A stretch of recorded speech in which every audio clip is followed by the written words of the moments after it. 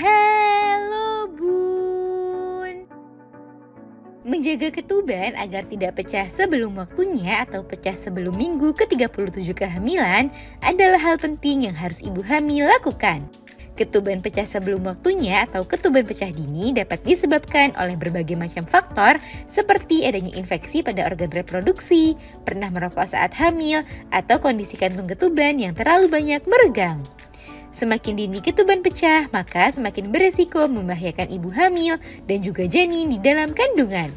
Oleh karenanya, penting bagi bunda untuk menjaga agar ketuban tidak pecah sebelum waktunya dengan melakukan berbagai upaya seperti yang akan disampaikan dunia bunda pada edisi kali ini.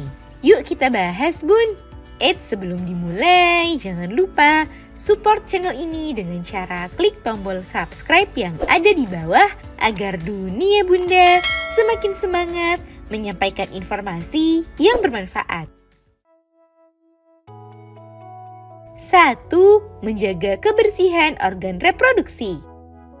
Infeksi pada organ reproduksi ibu hamil dapat menyebabkan resiko ketuban pecah dini. Hal ini dikarenakan organ reproduksi yang tidak bersih dapat menyebabkan kuman atau bakteri berkembang pada area tersebut, bahkan hingga menyerang selaput ketuban. Oleh karenanya, penting bagi ibu hamil untuk menjaga kebersihan area organ intim secara tepat dengan membersihkan area kemaluan dari arah depan ke belakang dan mengganti pakaian dalam minimal dua kali sehari agar area organ intim tidak menjadi lembab. Selain dapat menyebabkan ketuban pecah dini, infeksi pada organ reproduksi dapat beresiko menyebabkan bayi lahir prematur dan bayi lahir dengan berat badan yang rendah. 2. Rutin memeriksakan kondisi kehamilan.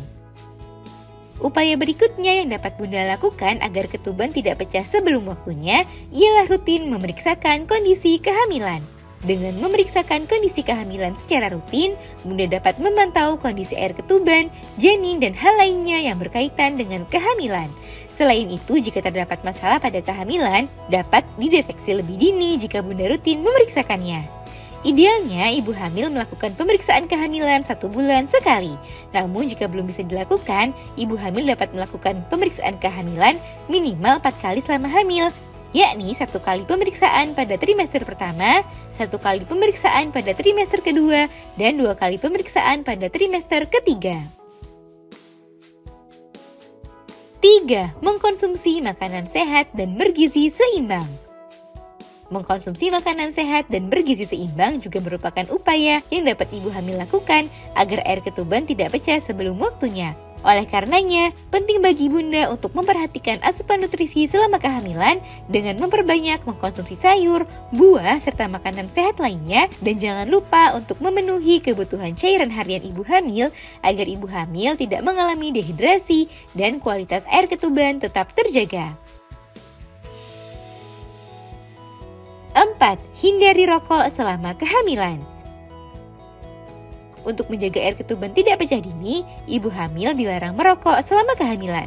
Selain itu, ibu hamil juga sebaiknya menghindari paparan asap rokok karena hal tersebut juga dapat membahayakan kesehatan dan keselamatan bunda dan janin di dalam kandungan. Dampak buruk rokok lainnya bagi ibu hamil ialah kelahiran prematur, cacat lahir, dan berat badan lahir rendah. Nah itu dia bun, beberapa upaya yang dapat ibu hamil lakukan untuk mencegah ketuban pecah sebelum waktunya. Semoga informasi ini bermanfaat ya bun. Sekian.